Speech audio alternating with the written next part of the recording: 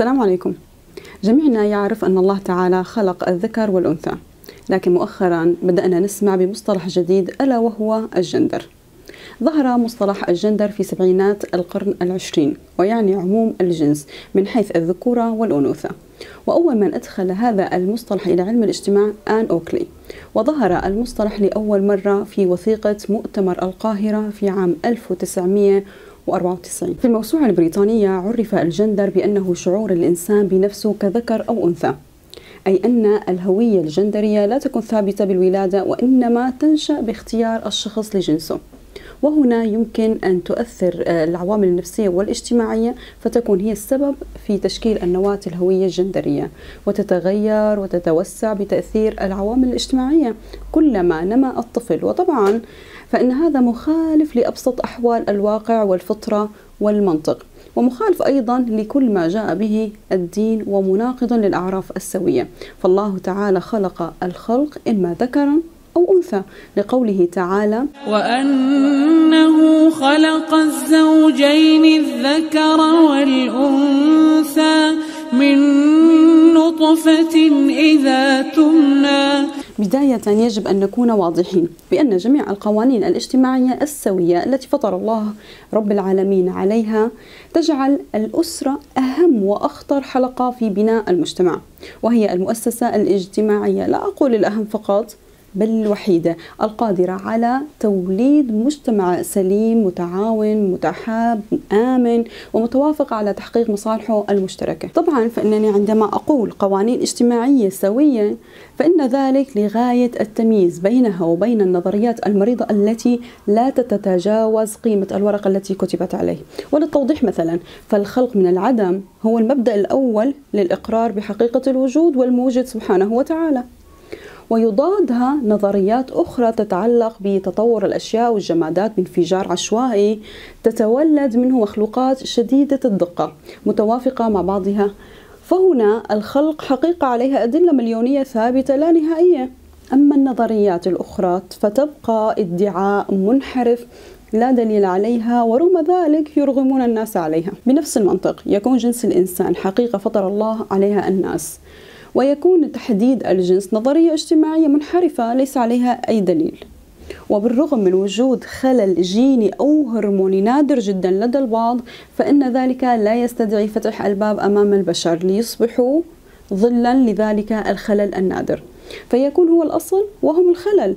وذلك بدل أن يخضعوا للعلاج السلوكي أو الدوائي ليكونوا أشخاص أصحاء آه، طبيعيين. ثم أنه متى كان نشر المرض طريقا للعلاج؟ وهنا نقول أن لوازم نظرية الجندر من الأمراض الاجتماعية التي تتعدى الاعتزاز بالخلل الجنسي إلى مرحلة التصريح بذلك والدعوة للتحول إليه. وهذا شأن خطير. متى كان المصاب بالغرغرينة بقدمه مثلا؟ يترك له أن ينشر صورها ويفتخر بها ويعظمها ويدعو الناس لأن يصيبوا أقدامهم بها. أم أن الصحيح هو أن نعرف المريض بهذا المرض فيداويها ويسترعبها ويتعامل معها بحذر. ثم إن استلزم أن يقطعها ليبقي باقي جسده سوي لكان فعل ذلك.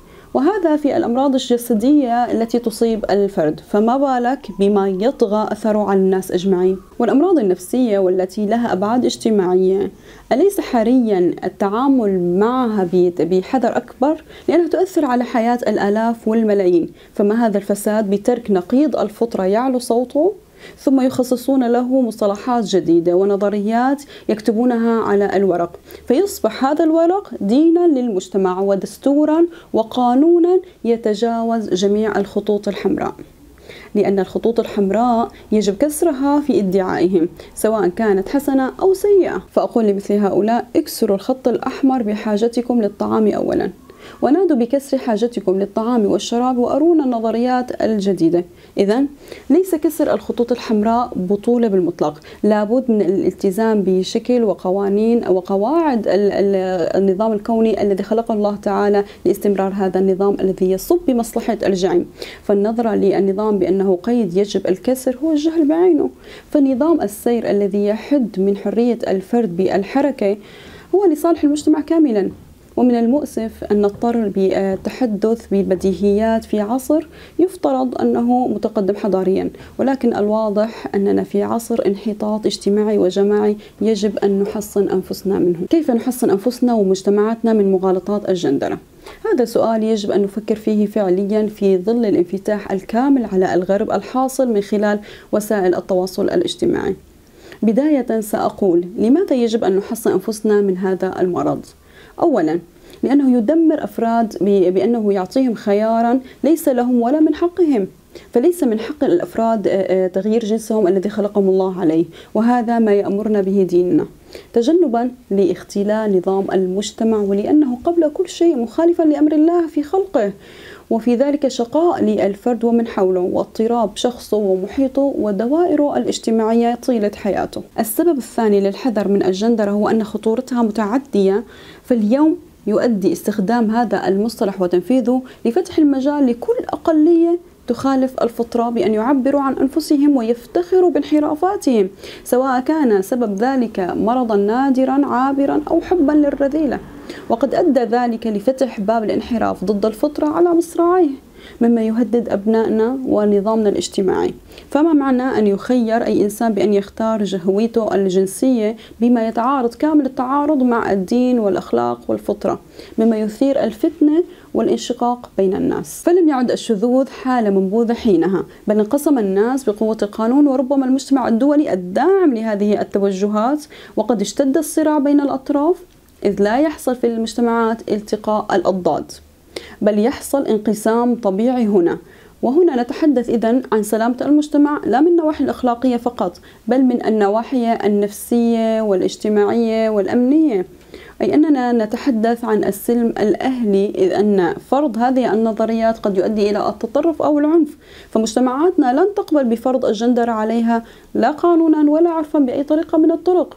فعلى كل حال يجب على كل منا أن يكون سدا منيعا لحماية آه، عائلته ومجتمعه بالوعي والفهم الصحيح وأن يمنع الانحلال من تدميرنا من الداخل ونحن أهل لذلك ما استطعنا إليه سبيلا. أما لوازم نظرية الجندرة تنسف الجندرة المعتقدات الدينية والقيم الأخلاقية التي تحدد هوية المجتمع وليس من المستغرب بعد ذلك في ظل توسيع دائرة انتشار هذه الأفكار الهدامة أن تتفاقم المشاكل الاجتماعية والعائلية كانتشار العنوسة وكثرة الطلاق واستساغة آه، فكرة الإجهاض والمطالبة بتقنينه وتسهيله وهذا ما نراه طبيعيا في الغرب حيث التفكك الأسري بأشكاله المختلفة. سيكون من الطبيعي أن تجد رجلا يتوهم نفسه امرأة ويقوم بعمليات تحويل جنسية ليحقق رغبته في صناعة هذه الهوية.